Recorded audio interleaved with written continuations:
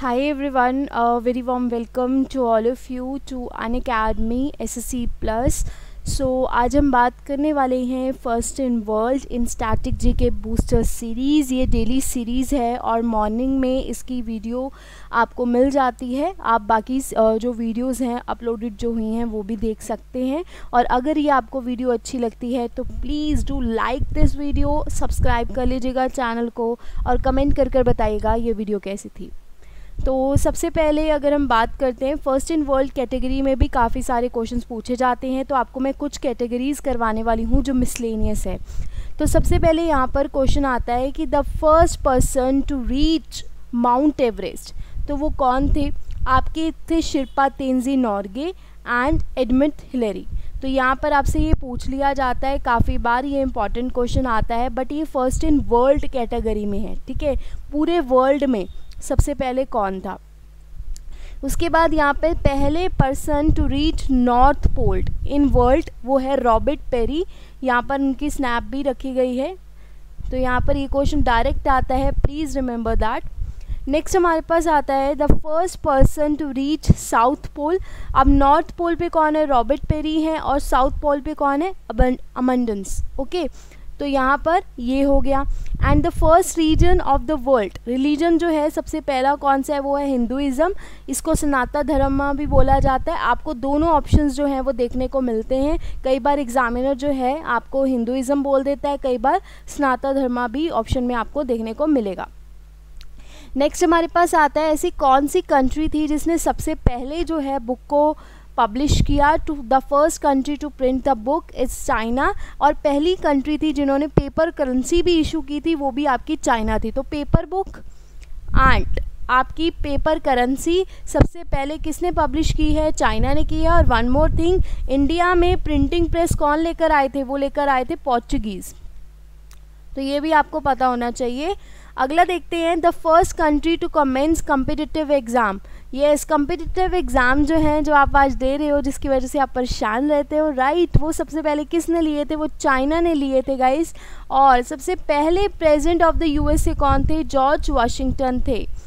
Next हमारे पास आता है the first prime minister of Britain वो है रॉबर्ट वॉलपे और the first governor general of United Nation assembly very very important वो है आपके त्रिगवेली, जो कि नॉर्वे से बिलोंग करते थे। ये काफ़ी इंपॉर्टेंट है। जब भी आपको जो है वर्ल्ड ऑर्गेनाइजेशंस के बारे में पूछा जाता है तो ये क्वेश्चन आपके लिए पेपर में आपका आता है।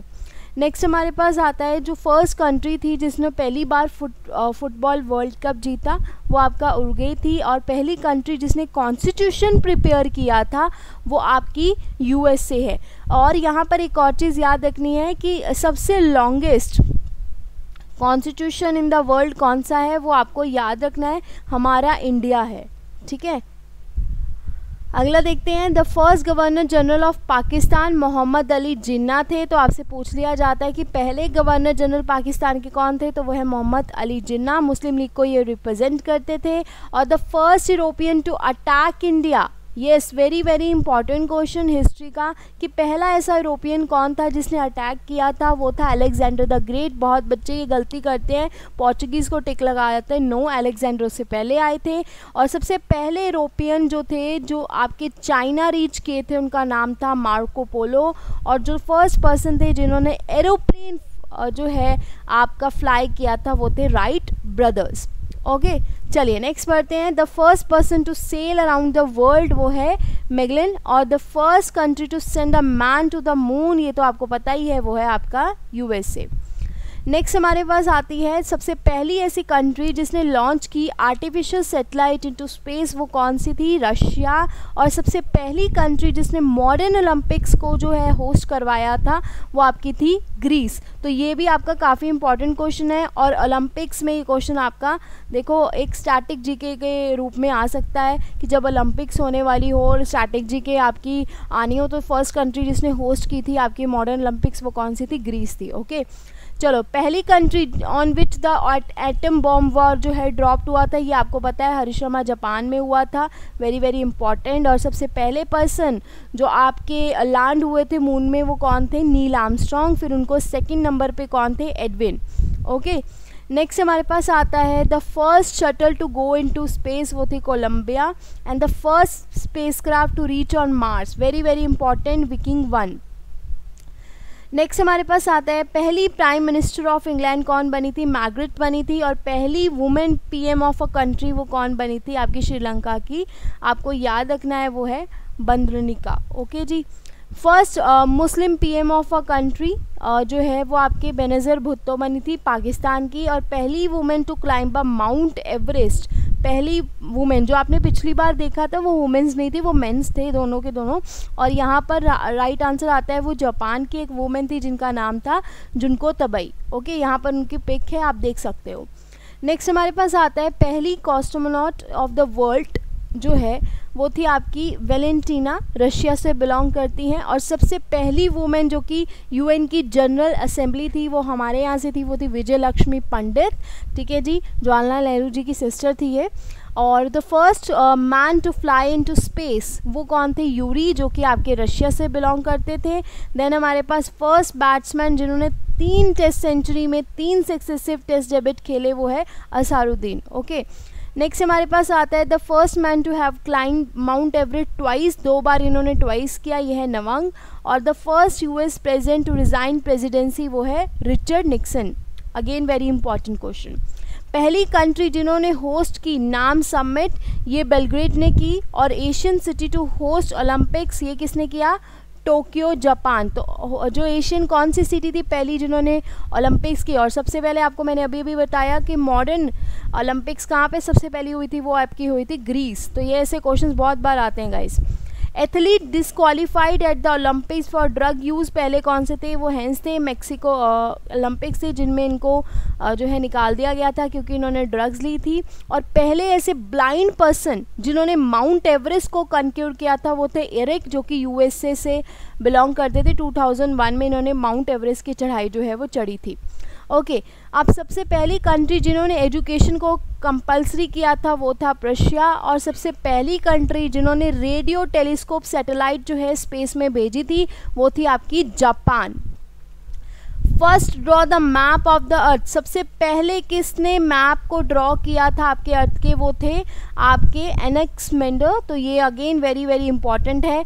The first man to compile encyclopedia encyclopedia वो कौन थे आपके? एसफोसिस ओके okay?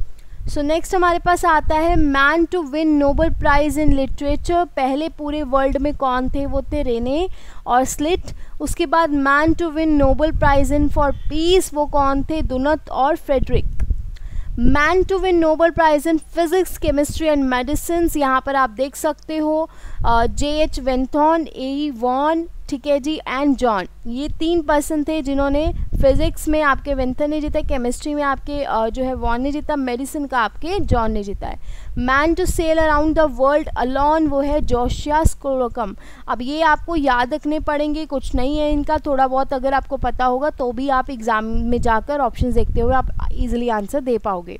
सबसे पहले ऐसे पर्सन कौन थे जिन्होंने स्पेस में वॉक किया था? वो थे एलेक्सी नाइनटीन सिक्सटी फाइव में और सबसे पहला मैन थे जिन्होंने इंग्लिश चैनल अक्रॉस किया था, वो थे मैथ्यू वेब इन 1875 अच्छा सबसे पहली मूवी कौन सी बनी थी? वो बनी थी जैज सिंगर 1927 और सबसे पहला space vehicle on the land जो मून में था, वो था लूनर एक्सप्लोरेशन मॉड्यूल जिसको एल ई एम भी बोला जाता है। यूनिवर्सिटी ऑफ़ द वर्ल्ड, सबसे पहली यूनिवर्सिटी कौन सी बनी थी? तकसीला यूनिवर्सिटी बनी थी और सबसे पहले स्पेस टूरिस्ट कौन थे? डेनिस ट्यूटो थे, जो कि यूएसए से बिलोंग करते थे। तो यहाँ पर आज हमने काफ़ी सारे फ़र्स्ट इन वर्ल्ड किए मिसलेनियस कैटेगरी में, जो जनरली आप नहीं पढ़कर जाते हो। जैसे कि आपके ओलंपिक्स वाले काफ़ी इंपॉर्टेंट थे, ठीक है? आपके स्पेस क्राफ्ट वाले काफ़ी इंपॉर्टेंट थे।